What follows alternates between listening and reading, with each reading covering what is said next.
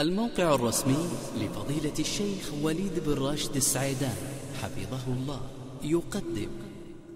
الحمد لله رب العالمين والصلاة والسلام على رسول الله الأمين وعلى آله وأصحابه الطيبين الطاهرين ومن تبعهم بإحسان إلى يوم الدين وعنا معهم بمنه وكرمه وفضله وجوده إنه جواد كريم.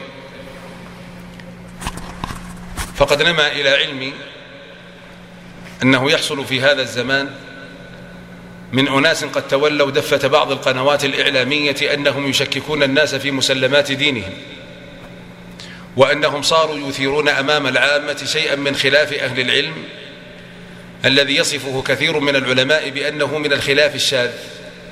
صاروا يذكرونه أمام العامة حتى يشكك الناس فيما كانوا يفعلونه أو يشككونه في فتاوى علمائهم التي دانت لها قلوبهم واستسلمت لها نفوسهم. وما مقصود هؤلاء في مثل هذه التصرفات الشيطانية إلا ليشككوا الناس في دين الإسلام أصلا. وإني لا أربأ أن أصفهم بأنهم ضالون مضلون لأنهم لا يقصدون معرفة الراجح من المرجوح ولا يقصدون نصرة الحق وإنما يريدون إثارة البلابل والقلاقل وزعزعة استقرار الدين والعمل في قلوب الناس. فتجدهم يعمدون إلى مسائل قد فصلتها الأدلة ثم يذكرون خلافا قد قاله بعض أهل العلم في هذه المسألة. ويصفه العلماء في كتبهم بأنه من الخلاف الشاذ الذي لا ينبغي النظر إليه ولا الوقوف عليه ولا ينبغي ذكره أصلا.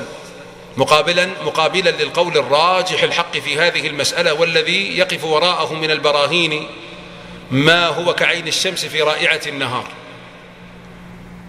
فما الذي يريده هؤلاء؟ إنما يريدون تشكيك الناس في دينهم وفتح أبواب الشهوات لمن يريد مخالفة هذه المسألة. فكأنهم يقولون لصاحب الشهوة الذي ضجرت نفسه من فتاوى العلماء بالقول الراجح. كأنهم يقولون له إن المخرج عندنا. فإن هذه المسألة لم يتفق عليها العلماء ولم يجمعوا عليها. بل, بل هي قول أكثر أهل العلم. ولكن قال العالم الفلاني كذا وكذا فإذا كنت تريد أن تترك هذا القول الذي ضجرت نفسك بالعمل به فعندك العالم الفلاني قد قال بخلافه فهم يفتحون أبواب الشهوات للناس. ولذلك نقل لي أنهم يفتون الآن بجواز ترك صلاة الجماعة. لأن من أهل العلم من قال بأن الجماعة سنة وليست بفرض عين. وذكر لي أيضا بأنهم يبيحون التدخين للناس. لأن هناك أقوال لبعض أهل العلم بتجويز ذلك. ضاربين الباب وطاوين صفحة تلك الأدلة الكثيرة التي تدل على رجحان القول الحق في هذه المسائل. بل وزاد الأمر سوءا والطين بالله أنهم صاروا يتكلمون في مسائل عقدية الآن كمسألة التوسل بالنبي صلى الله عليه وسلم أي بذاته وبجاهه. فهم يقولون إن الذين يحرمون إنما هم الوهابيون أو أهل السنة. لكن قيل في المسألة غير ذلك القول. ويتكلمون في الطواف حول القبور ويتكلمون في حلقات الصوفية وأذكارهم وحضراتهم المنتشرة بينهم وصاروا يضربون مسلمات الدين التي دلت عليها الأدلة الصريحة الصحيحة بحجة أن المسألة ليست إجماعا وإنما هي خلاف. وأن فلانا العالم قال بكذا وكذا فكأنهم يقولون لمن لا يريد الحق لا تضجر بالحق. وإنما لك أن تنتقل من هذا القول إلى القول الآخر لأن المسألة فيها خلاف. فلما علمت بذلك ضاق صدري وازداد ضيق خاطري أنه قد سلمت لهؤلاء السفلة المتمشيخون سلمت لهؤلاء السفلة المتمشيخين كثيرا من المنابر الإعلامية. فصاروا يخاطبون بسفاهاتهم وحماقاتهم هذه. ملايين المسلمين فانتشر شررهم وتطاير في الأمة والعياذ بالله. ولذلك لا بد أن أنبه على جمل من الأصول والقواعد التي ينبغي أن نربي أنفسنا في هذا الزمان بخصوصه عليها. لأن السلطة الإعلامية الآن قد سلمت في كثير من أجزائها لغير أهل الحق ولغير علماء الحق.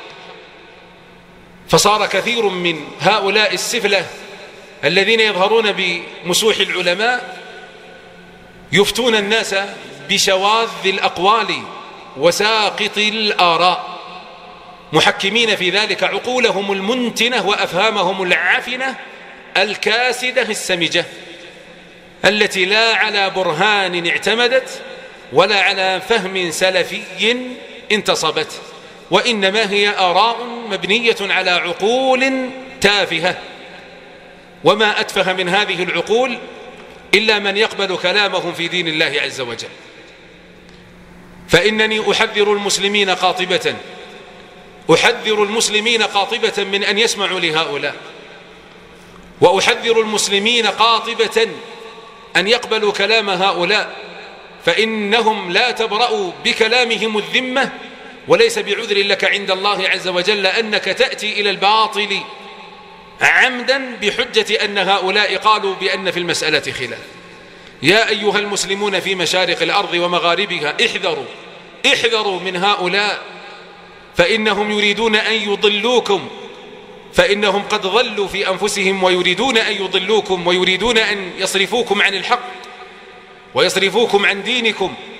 ويسوغوا لكم الباطل ويزخرفوا لكم ويزخرفوا لكم ويزخرفوا لكم الباطل حتى تقبلوه. احذروهم كل الحذر. احذروهم كل الحذر. فإني لكم منذر. إني لكم منذر. لا تقبلوا كلام هؤلاء. وإن الواجب علي في هذه العجالة أن أبين جملا من الأصول. التي تنسف كلام هؤلاء وتدحر حججهم بإذن الله عز وجل إذا اعتمدها الإنسان. فأرجو ممن يسمع كلامي أن ينتبه لما أقول من هذه الأصول فلعلها إن شاء الله تكون حزام أمان من السقوط أو الانزلاق في شيء من شبه هؤلاء السفلة الضالين المضلين. الذين استجراهم الشيطان ليضلوا عباد الله. وما أصدق قول النبي صلى الله عليه وسلم الذي رواه مسلم في صحيحه من حديث أبي هريرة رضي الله عنه مرفوعا قال يكون في آخر الزمان دجالون كذابون يأتونكم من الأحاديث بما لم تسمعوا أنتم ولا آباؤكم. طيب والعمل يا رسول الله مع هؤلاء الدجالين الكذابين؟ قال فإياكم وإياهم فاحذروهم لا يضلونكم ولا يفتنونكم. وما أقربهم من قول النبي صلى الله عليه وسلم كما في حديث عائشة في الصحيحين أنه صلى الله عليه وسلم تلا هذه الآية هو الذي أنزل عليك الكتاب منه آيات محكمات هن أم الكتاب وأخر متشابهات. فأما الذين في قلوبهم زيغ فيتبعون ما تشابه منه ابتغاء الفتنة وابتغاء تأويله. وما يعلم تأويله إلا الله.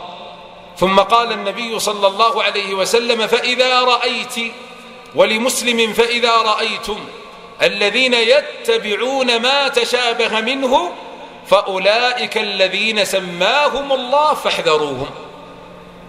فهذه الأوصاف النبوية الصادقة كل الصدق على هؤلاء السفلة المتمشيخين الذين يخرجون بمسوح العلماء ويتكلمون بكلام العلماء وتجد الواحد منهم في حلقاته أمامه رزامة الكتب بين يديه ليقنع السامع بأنه قد قرأ وأنه اطلع.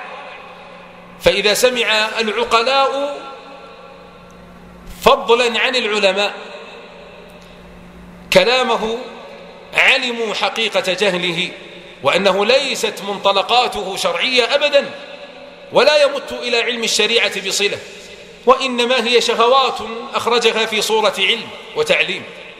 ونزوات شيطانية ونفخات إبليسية أراد أن يقررها في واقع الناس فهو ضال مضل. وقد حذرنا الله عز وجل من هؤلاء أشد التحذير أشد التحذير. فيا أيها المسلمون في كل مكان احذروا هؤلاء.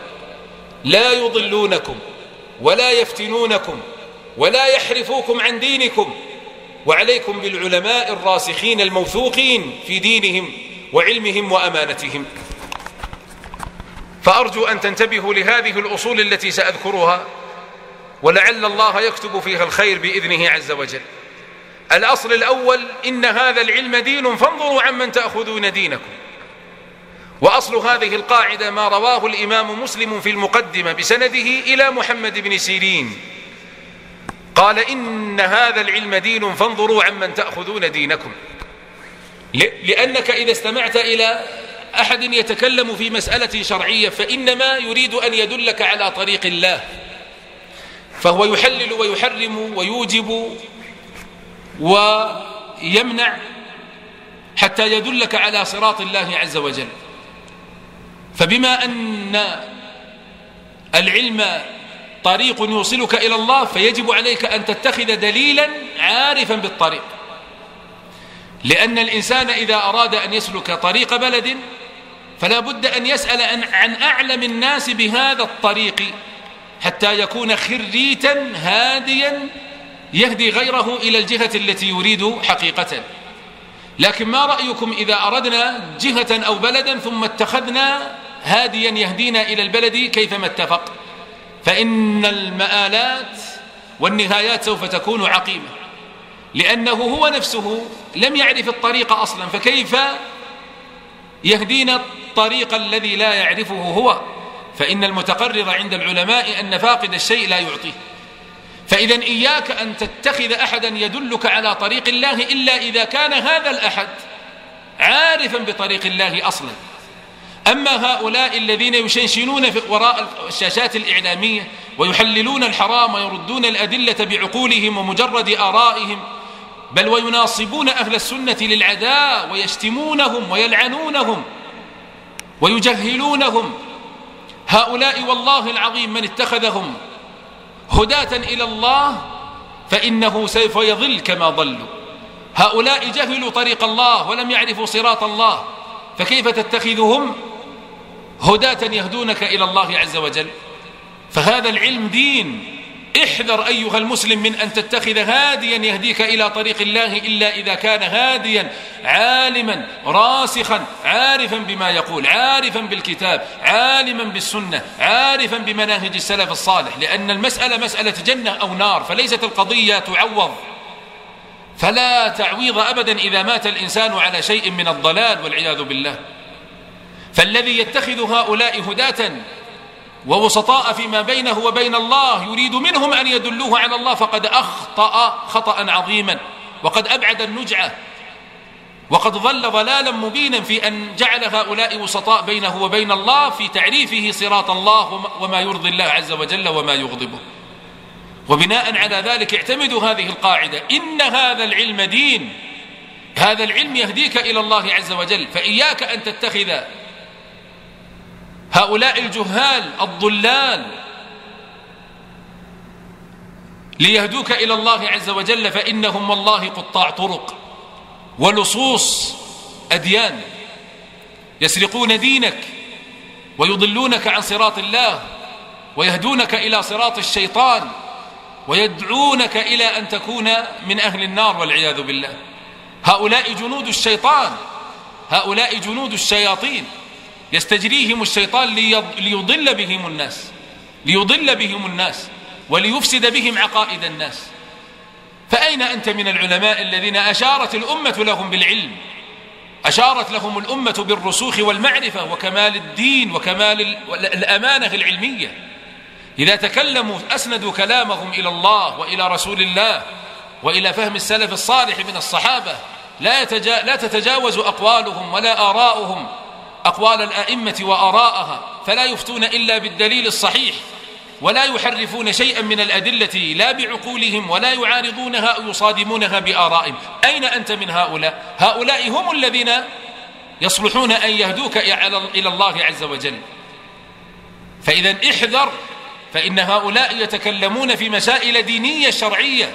فإياك أن تقبل كلامهم لأنك إن قبلت كلامهم فستتخذهم واسطة بينك وبين الله في تبليغ الأحكام الشرعية وفي وفي الدلالة على صراط الله عز وجل وهم في ذاتهم أهل ضلال فيضلوك معهم. فإياك إياك ثم إياك والحذر الحذر.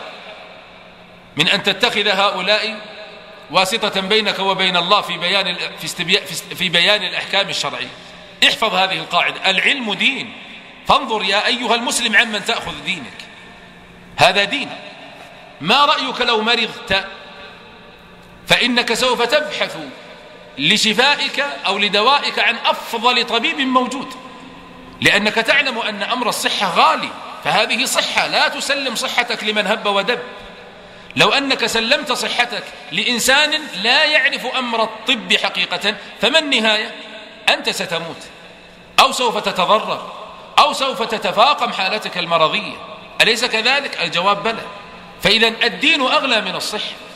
فإذا كانت صحتك غالية جعلك معرفة ثمنها تختار الطبيب الصح الطبيب الممتاز الطبيب الاستشاري الخريج في طبه وصاحب الخبرة.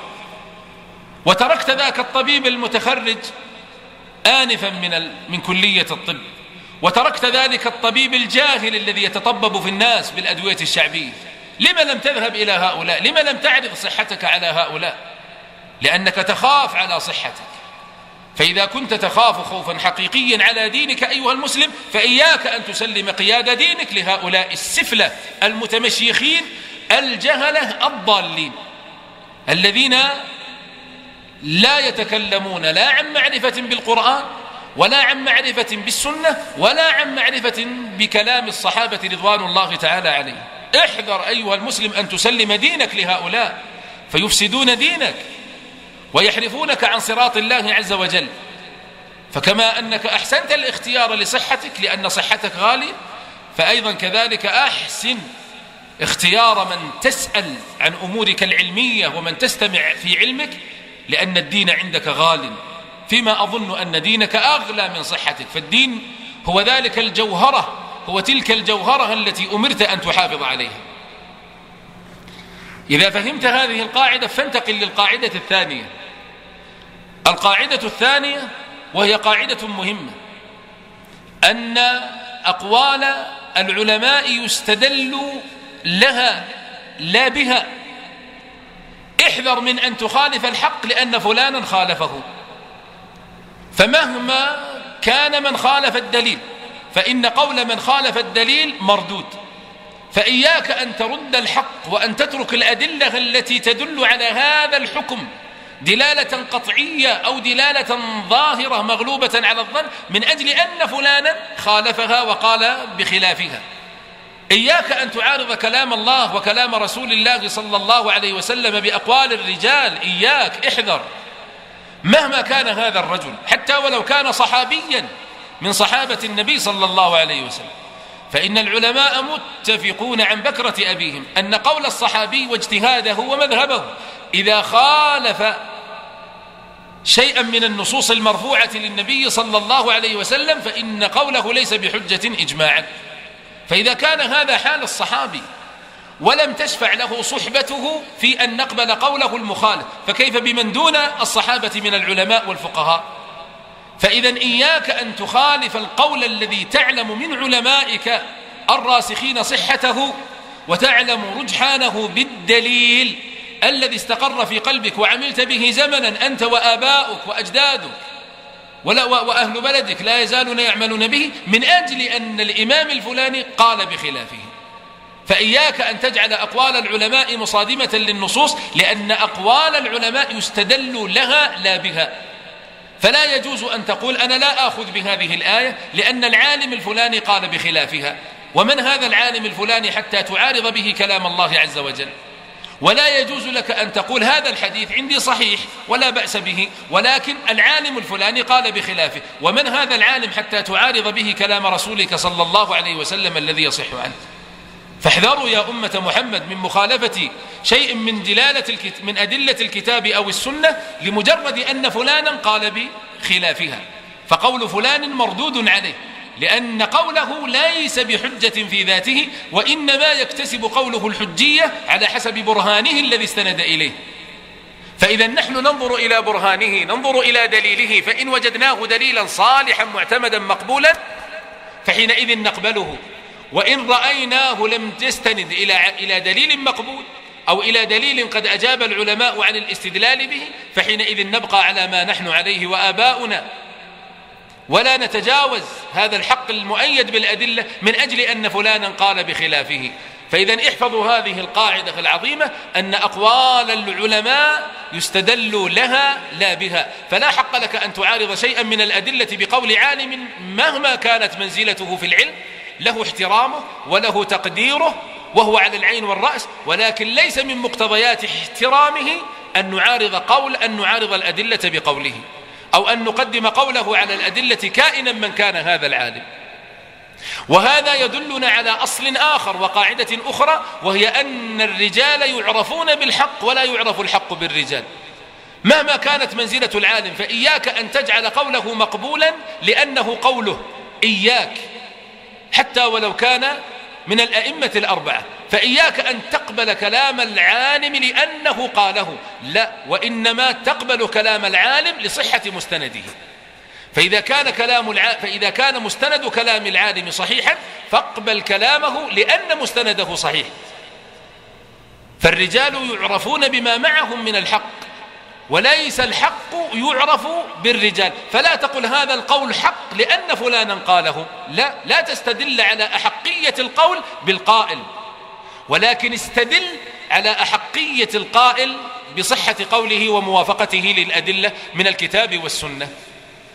وهذا يدلنا على أصل آخر وقاعدة عظيمة وهي أن وجود الخلاف في المسألة ليس بمسوغ للتخيير.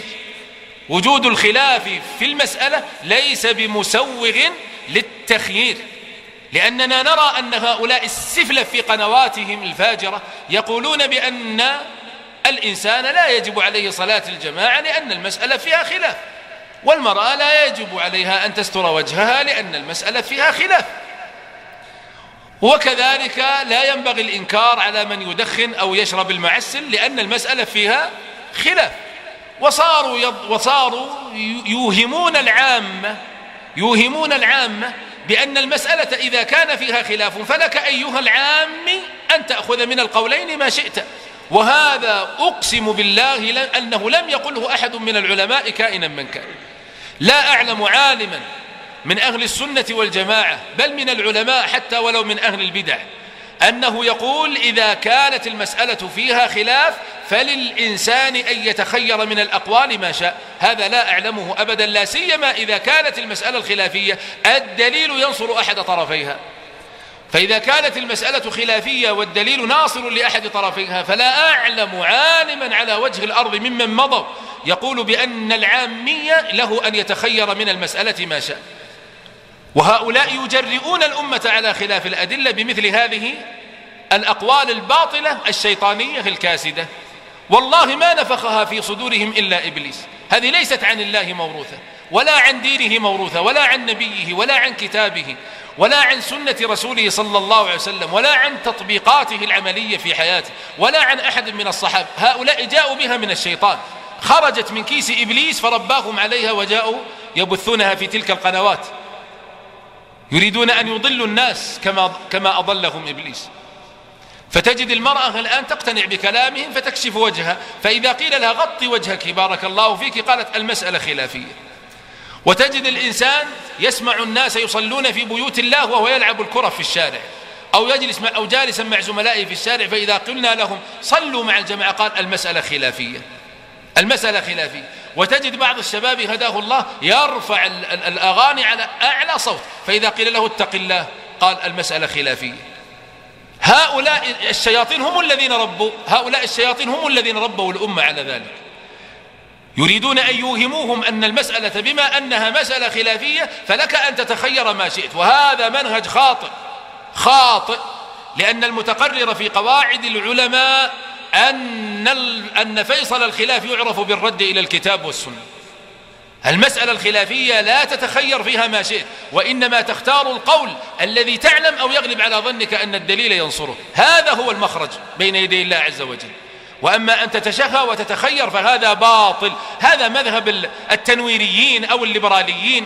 أو هؤلاء المتمسيخين الذين يريدون أن يظهروا بصورة المتحضرين المتطورين الذين يفهمون الواقع وحاجات الناس ومتطلبات الناس إلى غير ذلك من الخزعبلات والتحسينات التي يضفيها عليهم الإعلام وقنواته. فالحذر الحذر. ولذلك يقول الله عز وجل فما اختلفتم فيه من شيء. ماذا قال؟ فتشهوا اختاروا ما شئتم. قال لا. فما اختلفتم فيه من شيء وما اختلفتم فيه من شيء فحكمه إلى الله.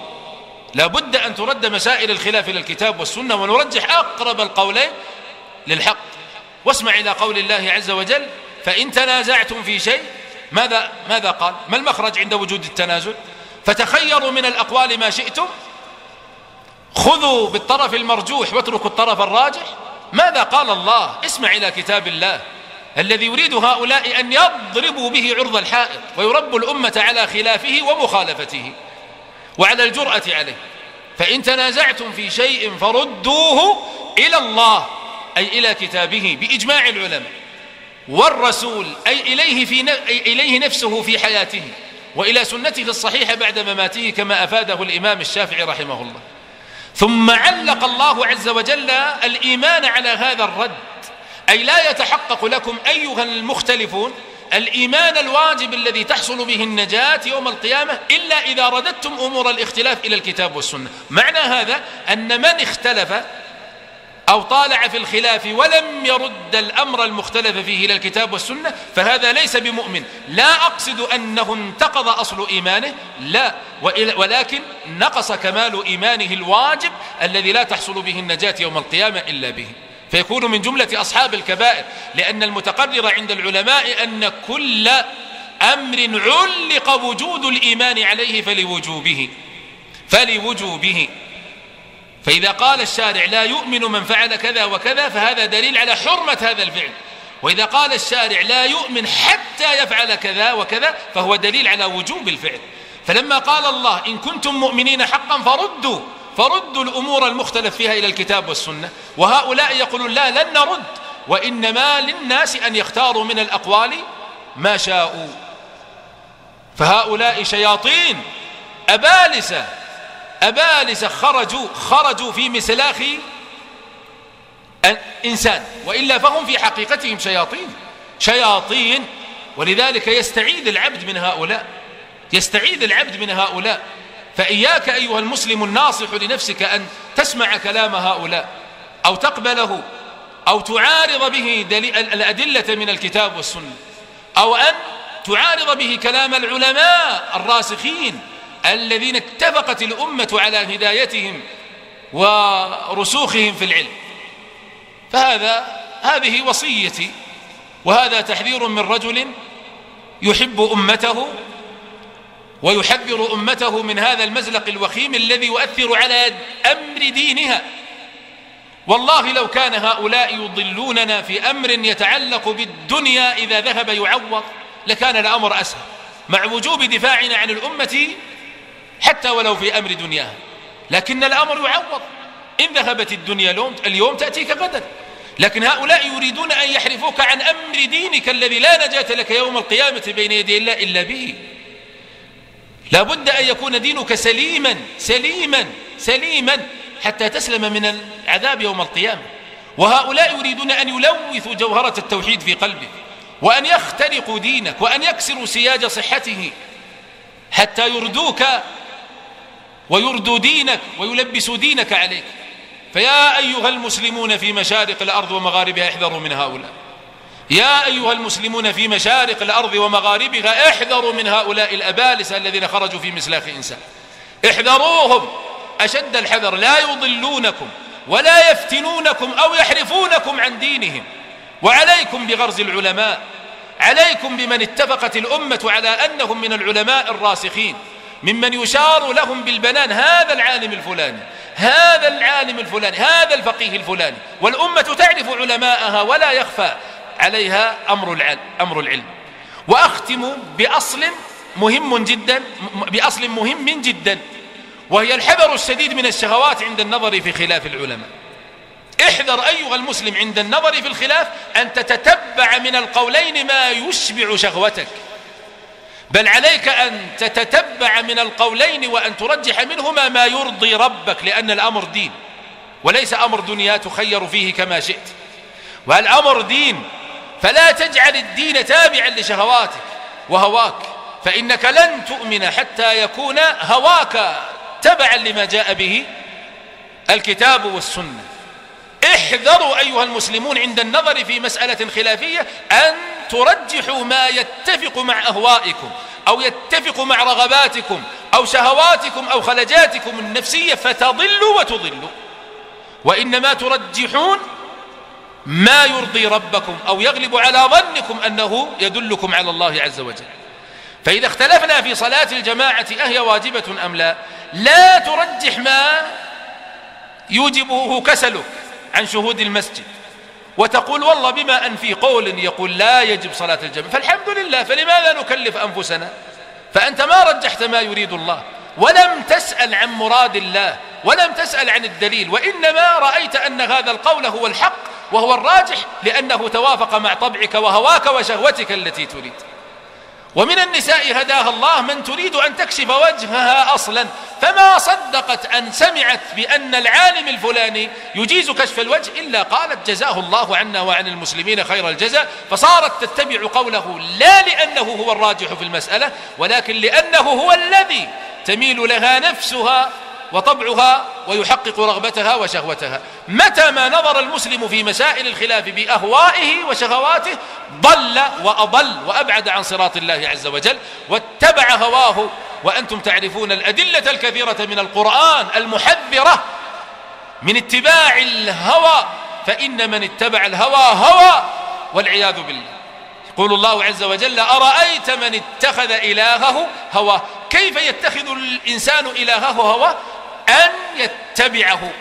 إلهية اتباع إلهية طاعة فهؤلاء كانوا على قول تؤيده الأدلة. فجاء هؤلاء الأبالسة في قنواتهم ونثروا قولا هم يعلمون أنه يرغبه. فلما سمع بأن في المسألة من قال بما تريده نفسه قال جزى الله هؤلاء خيرا. قد كنا على ذاك القول ونكلف أنفسنا ونحن لا ندري أن في المسألة قول أن في المسألة قولا آخر. فصار يتبع القول الشاذ أو القول المرجوح. لما؟ لا لأنه يعلم أنه يرضي ربه لا. وإنما لأنه يشبع رغبته ويشبع هواه. متى ما نظرت أيها المسلم إلى مسائل الخلاف بهذه الصورة والله سوف تكون ضالا. بعيدا عن الله عز وجل. إذ ما من مسألة إذ ما من مسألة في الأعم الأغلب إلا وفيها قول شاذ. إلا وفيها قول شاذ. ولذلك هذا يسميه العلماء بتتبع الرخص. ومن تتبع الرخص تزندق. وقد أجمع علماء الإسلام على حرمة تتبع الرخص. فإذا اعتمدنا هذه الأصول فإني أقسم بالله أن أبواب هؤلاء الشياطين سوف يسد. إذا تعامل المسلم مع ما يطرحه هؤلاء الأبالسة في قنواتهم بهذه الأصول التي ذكرتها لكم في هذه الكلمة المختصرة والله سوف يسد باب هؤلاء. ولن يروج كلامهم على من اعتمد هذه الأصول. ومن باب التذكير بها أعيدها مختصرة. الأصل الأول إن العلم دين. فانظروا عمن تأخذون دينكم. الأصل الثاني أقوال العلماء يستدل لها لا بها. الأصل الثالث الحق لا يعرف بالرجال وإنما يعرف الرجال بالحق.